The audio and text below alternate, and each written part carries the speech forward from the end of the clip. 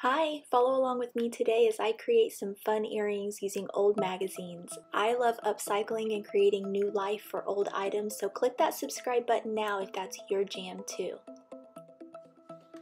Now for this project, you're going to need some old magazines, a paper cutter, a crochet hook, or something that's round that doesn't taper and change shapes like a paintbrush. You'll also need a paintbrush, a bone folder, some decoupage glue, some jewelry pliers, and then a jump ring and some earring hardware. If you don't have this in your stash, you can use an old pair of earrings or something that you found at the thrift store. So start by pulling a few really colorful pages from your magazines. Be thoughtful here because the colors actually really will show up and you'll want them to look nice. This part really does take me the longest because I can be a little bit too choosy. I like pages that have full color, like the one that you see me pulling here. You're going to need three total pages to make the earrings that I've made, which end up being about one and a quarter inch in diameter. Of course, you would need more pages and more strips if you wanted bigger earrings, or maybe you want to get creative and do uh, two coil circles. So um, anyway, uh, I end up with, uh, I pull three sheets and uh, cut them up and end up with six strips. So now that I've selected my sheets, I'm gonna cut them into two inch strips. The paper cutter is super important here. I've tried to do it with just a ruler and scissors and we really want it to be evenly cut so that the folds are even and everything lays nicely. So this is one tool you're really gonna need. So cut the strips into two, or the pages into two inch strips and then lay one strip from each page in a pile. One for the left earring and one for the right. And then you'll end up with about one and a half remaining strips and I just put them in a pile for a later project. When you're finished doing all of these cuts, you will have six strips of paper for each earring. Be sure to keep them in order and then it's time to start folding. This is the impossible part to explain in text, so I'm glad you're watching. With the color side down, because that's the color that's going to show in your earrings, fold one side of the paper towards the center and then be sure that you give it a good crease. And then now fold the other side all the way to that opposite edge and crease it down, being sure that everything stays really even as you go. Now the fun part, take that and fold it in half again you're going to end up with a strip that's right at about a quarter of an inch. Um, and even if your fold is a little bit off on folds one and two, somehow it all ends up laying right in the end. Uh, so you know, don't get too don't get too in your head about it. Just fold the strips. I'm laying it on a ruler here just to show you that when I end up, uh, like I said, it's it's right at about a quarter of an inch thick. You can change this up if you want thicker earrings or thinner earrings. It's just my way of doing it. So now that I have my two piles, I'm just going through and verifying that they're all in the same order for each earring. And maybe this won't matter to you if your brain doesn't get all matchy-matchy like mine does, but I really like my earrings to look like a complete pair. So that I don't have to fumble for my glue, I'm going to dump a bit of it into a glass jar I can always put it back in the bottle, the, the portion that I don't use. And I'm also laying out a paper towel because I won't have time to stop for any supplies once I begin to glue and coil the paper.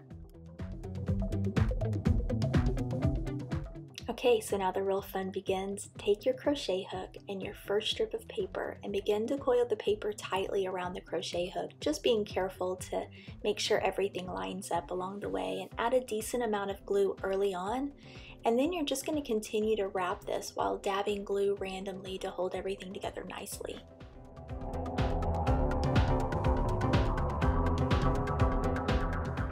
Now that we're coming to the end of the first strip, be sure that you glue the end down really well and dab a little glue inside where the folds are. This keeps everything laying together really nicely. You can see me just using my paintbrush to wedge in there where that fold is, where otherwise it would leave air, a little air bubble. So to add your next strip, be sure that your folded side of the paper is facing the same direction as your first strip. Again, it just keeps everything nice and even. It wouldn't be the end of the world if you got one backwards. Now you're just going to overlap the first strip slightly and glue it down really well. Decoupage or Mod Podge glue dries clear, so you can be a little more liberal. Be sure that you're adding glue a little more often for your first wrap of each new strip.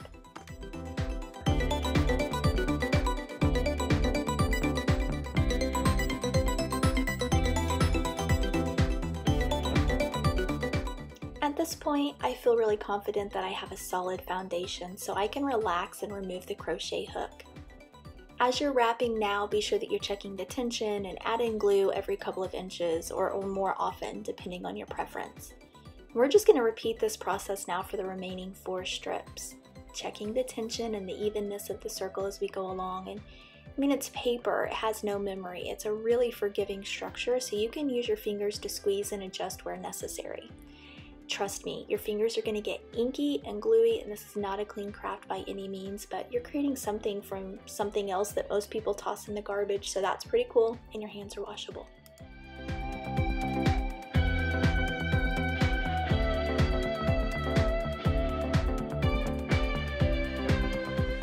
So before we get to our last strip, I'm just adding a jump ring to my earring hardware. If you're reusing another old pair of earrings, you'll probably skip this step.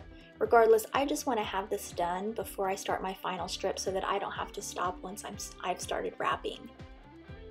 So for the last strip, a word of advice, add more glue than you did on the other ones. This is the piece holding your earring hardware and everything hangs from it. And while it's light, it is still paper that is hanging from your ear from a wire. So I think a little more glue is necessary. Start your wrap just like normal but when you have about 6 inches remaining, add in your earring hardware and just be sure that your jump ring can stand completely up before gluing the rest of the paper down. It's not easy to get that jump ring on and actually I should have mentioned that you'll want to use a large jump ring and adjust or adjust your paper size down. One of those regular scrawny jump rings just isn't going to cut it here. I end up being able to wrap the strip through the jump ring twice, which isn't easy, but that coupled with the extra glue I'm dabbing in really secures things up, and so far, I've never had one of these unravel. They do end up being pretty sturdy and durable, though I've never been caught in them in a rainstorm, but something tells me they wouldn't survive that. You could try to glaze the whole thing with decoupage if getting caught in the rain and these earrings keeps you up at night. And that's it folks. Repeat this process with the strips in the same order for your second earring and give these to yourself, friends, and family. You can also do this with old newspaper, scrapbooking paper strips that you have left over, old mail. Ooh, I bet old books from the thrift store would be pretty too. Anything paper you can throw away, you can actually turn into some really pretty earrings. Find me online at brandyburke.com and on Instagram, Facebook, and TikTok at the Brandy. Now hit subscribe and I'll see you next time. Bye!